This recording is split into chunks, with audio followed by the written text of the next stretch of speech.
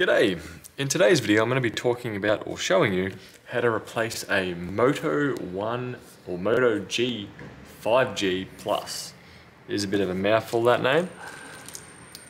So what we got here is our replacement display. And I have had this sitting on my heat pad here at 75 degrees for about the past uh, about the past 10 minutes, 5 minutes, which is extremely hot to the touch.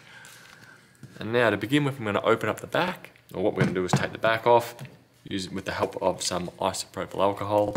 Once we get in there, we're going to use isopropyl to take the battery out, disconnect the screen, and from there, we should be able to take the screen out and continue. What I'm expecting we're going to need is a thin pry tool, a very tr small triple zero Phillips head screwdriver, and potentially another little pry tool. But to begin with, I'm going to spray isopropyl on my very thin pry tool. And work my way into the back of the phone. So I'll just pick any corner.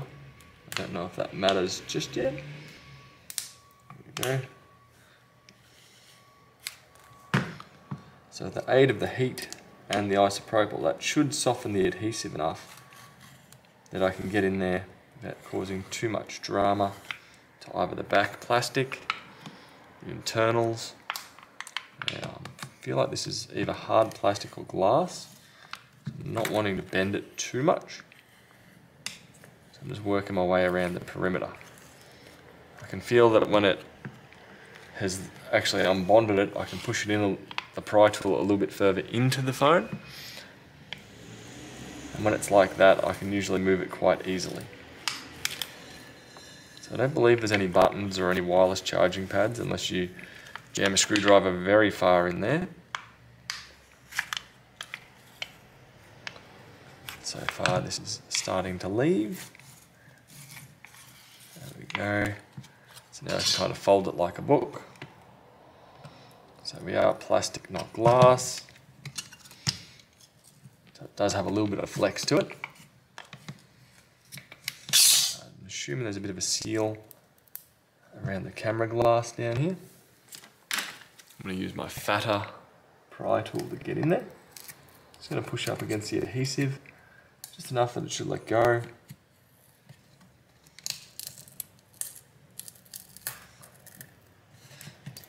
Very stubborn.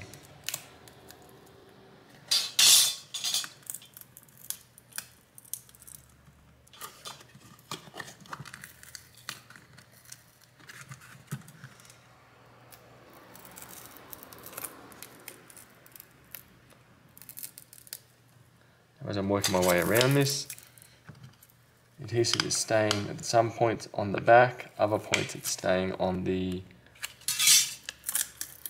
frame. There we go. This stuff mostly will need to be replaced. I don't know what it is with the adhesive that gets used by Motorola, but unlike Samsung's, which you can reuse, this stuff mostly tends to like almost a felt material. So next up from here, we're gonna have to take this shield off the back, and then we'll take the battery out.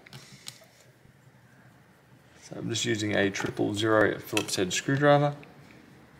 So far most of those screw locations look very obvious to me, with none of them being really hidden underneath a screw, like a warranty sticker or just a black sticker of some variety.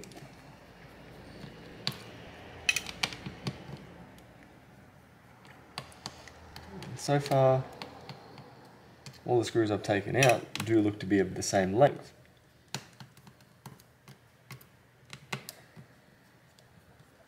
Which means it doesn't matter which way you put them back together. Go one, two, there may be another one hidden here. That one's all done. Now should you be able to use a pair of tweezers to lift that up. Like so. Go and we're in. We'll just push that other screw out. Don't want to lose it along the line. There we go. And we're out. Next up we want to disconnect the battery, which is this one. I'm just going to use my nail, flick it up, like so. Same with this other connection, which if I compare, actually my mistake, if I compare to over here, that must go to the daughter board, and underneath here, lift this up.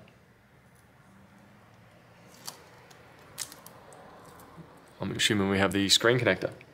What you can do here before you fully remove the screen is connect up the existing Muda screen if you would like to test it out prior to fully installing it, just in case. Sadly, phone screens seem to be not quite great with their overall quality control. So I'm going to drizzle some alcohol down here, or isopropyl, same over this side. Don't get too much of it there as it can destroy displays and plastics and rubbers. So Venom's got a bit of rubber on it. It very well may destroy that. Now, now we're starting to lift. I'll fin to switch that to a larger pry tool, to a plastic pry tool. Now without the alcohol on here, it's going to make, or isopropyl, it's going to make it very difficult to lift this battery out. So definitely, if you can get some rubbing alcohol just to put in there, that will definitely aid in getting that out, as it does semi-dissolve the adhesive. That's now out. Next up, I want to go like that. And that's our screen and the back of the phone prepped for the new, or at least on this side. So now we can flip it over and work on the other side. What I do from here is I usually cheat and get a large flathead screwdriver and push it through from the outside to the front. So, like that. As you see, I just brought up some of the frame, but I can just go around that. Keep that all together. keep working my way around. So. Do note there is a mesh earpiece grill up the top here. I should be able to twist this just slightly. No.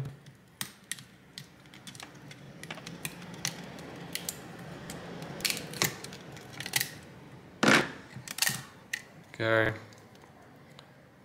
Do look to have a little rubber gasket around the outside camera. we'll take that off so I don't lose it. And I won't put it on to back on the screen just yet. Next up is a bit of prep work. I need to remove all these little glass shards. Might even just take this completely off if it lets me. I will need to re-glue that. That is fine. I'm just comparing the parts.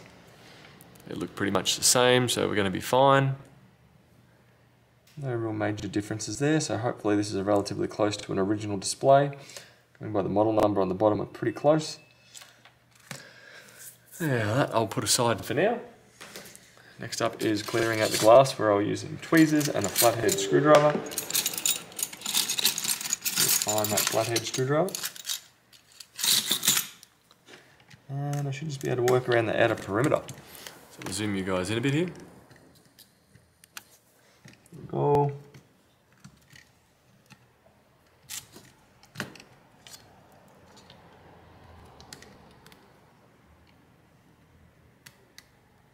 And there is like a black, it's a, a rubbery adhesive. What you want to get, what you would like to get rid of is that black adhesive around the border. So then your glue, which I'll be using some frame adhesive, you could use double-sided tape, but overall I'm a fan of the glue more so than the tape. I'll just keep going around. Challenging. So I just want to make sure all glass shards are out of the frame and off the phone. You don't want them to fall into the frame or into the phone. So usually I give it a brush with a toothbrush at the end, just to make sure no glass fragments are left over.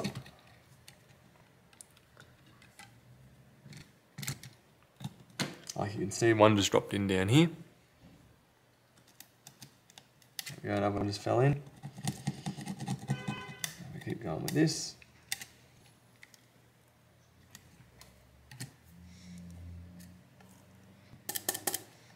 No, no.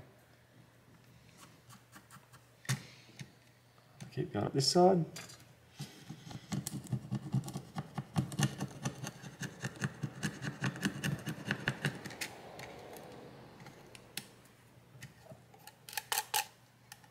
So what I'm going to do is also use some glue just to re-glue that black trim.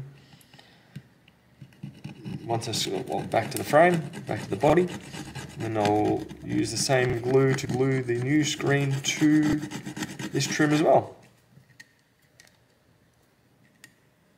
So potentially if I wasn't so gun-ho pushing it out, it may have left that there in one piece, but I feel like most of the time even when you go to pull it out, it usually just tends to pull that black trim off anyway. Okay, so I should just be able to do the finger test. Slide your finger around, see if you can feel anything, rather than putting this new screen on, pushing it down and realizing there's a shard of glass in there. there go. Next up from here, a brush. There we go. It's looking much better. I'm happy with that. Now from here, I'll clean up the board the mat. So these are the glues I typically use. Uh, for this one, I'm going to go some S7800 on the frame along here, just so it blends in a little bit more. So I should just be able to lift the trim up and just go down. Oh, there will be cleaning up required at the end, as it will be going onto the blue frame, but I'm not too concerned about that at this second.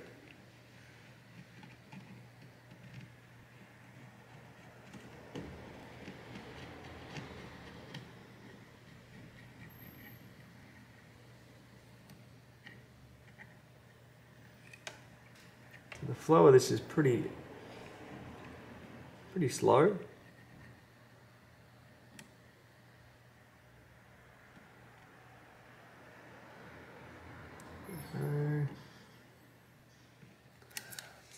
better.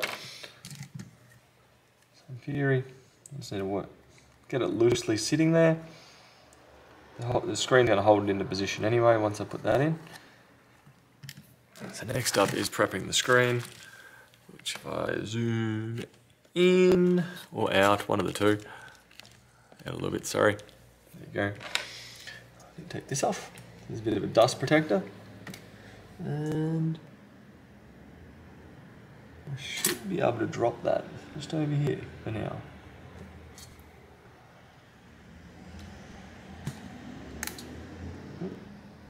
He just ran off on me. Where did he go? Push the front facing camera up and it pushed it out.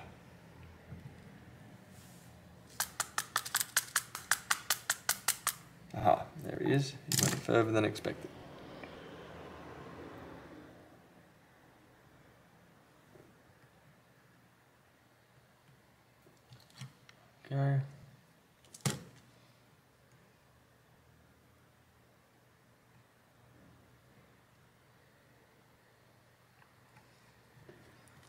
Push that from the back and the front. There we go, that's now attached. Good and good. Next up, I'm going to use some B, where will I go? Some B7000, I would say. It is running low. Now, one thing we do need to remember. Don't forget to move this, the earpiece trim from the old screen to the new screen.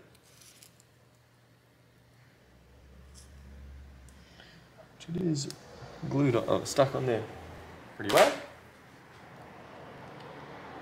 All I should really need to do is line it up and sit it where it lives, which is right there. Or for you playing at home, right there. Now I'll go over with some glue. Put a fair bit of air in there. Need to get it primed.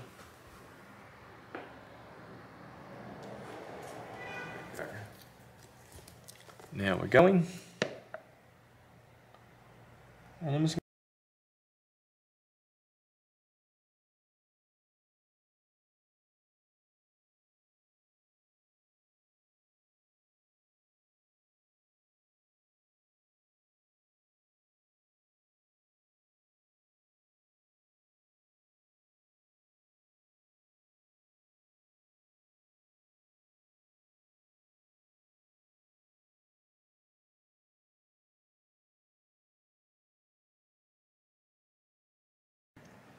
So as I'm going along there, it's kind of stopping every every little bit of the way. What's going on there is that there's little barbs underneath that rubber, that plastic, or just directly under the black, the black trim, and it's just for it to grip. So it's kind of catching as I'm sliding it around.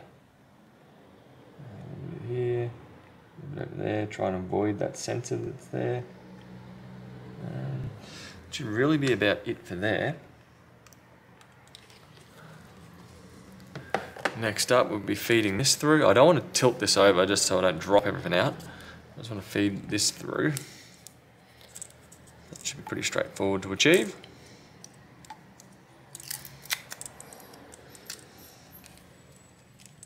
If it will let me do it. There we go.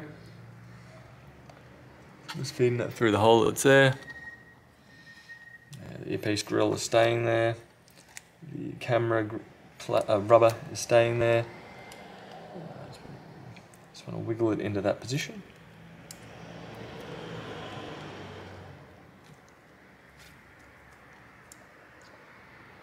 So right now we're looking alright all around.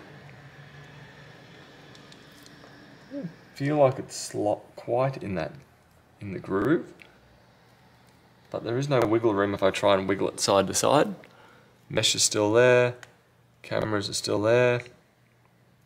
Pull this back slightly.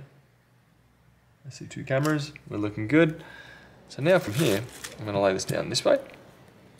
I've already swept it for the glass shard, so there shouldn't be anything there. And from here, we'll connect up the screen. We'll fold this over and have a look. There's a black trim on here. This is adhesive on this side. Out there.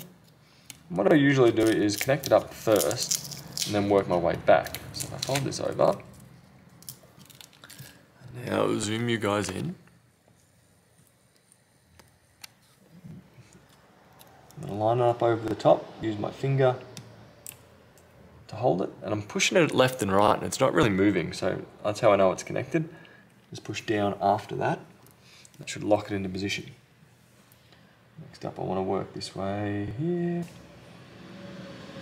go. That's a good fold going on right there. So tell you want it to kind of crease. Next up from here, there's still a bit of sticky tackiness to it on there, so we're good to put the battery back in.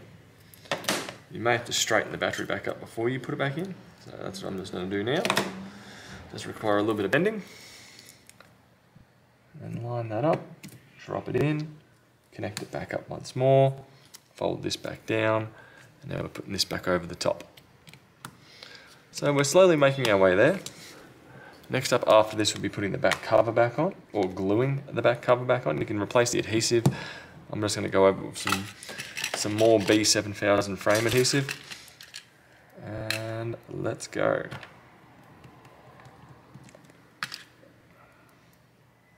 So as I said when we first took these screws out, we are, or all the screws are of the same length. There's really no need to be worried about where you're putting them. I don't believe I come across anyone shorter than the other. Now right now as I'm doing this, my heat pad's still on at 75 degrees, so it is dry, is curing the adhesive on the front. So that's with just the weight of the phone, just how I pushed it down, that should be okay. Typically I'd want to leave that adhesive for uh, usually 20 minutes or so with pressure under it so usually when the customers come and get it, I usually have like a band still around the phone. And usually I'd say to them leave it for uh, usually till tomorrow before they take the rubber bands off. Yeah, this one down here. There we go. And we zoom back out. Next up from here, you can either choose to, I can find my back, the back cover, right here. You can either choose to fully remove all of this off there. I'm not going to quite go down that path. So you can either just be able to almost use your thumb to get it to lift off. But I'm just going to go and use some more of this. That off. I'm just going to go around the outer frame. There we go. Reasonably generous amount of it. Don't want to use too much though in your buttons as it does sometimes seep into the button cavity and from there it permanently has a button pressed. So do be cautious of where it's going. You don't want to drizzle it into any holes or anywhere it shouldn't be. Go. So on here should make perfect contact. And what I'll do as well is just go around this section here. And around the camera module, so a bit of a figure eight then. Just to help seal it up. So from here, we should be right to put the back cover back on. Press it down. There we go, so a bit of a sandwich of glue here. As you can see as I'm pushing down here, some of it's coming out the sides. I usually can use a cloth just to wipe that up now before it dries. Or we can wait till it dries and then just go over it and it should clear away from there. So anyway, that pretty much concludes the screen replacement on the Moto G, oh, Moto G 5G Plus. Hope this helps, and I'll catch you guys later. Bye.